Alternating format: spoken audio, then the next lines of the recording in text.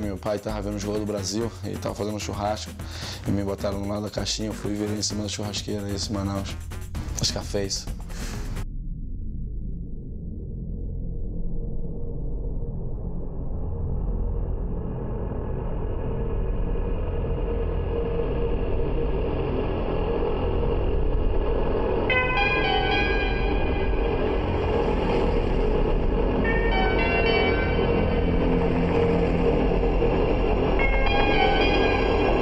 Flawless. Flawless victory.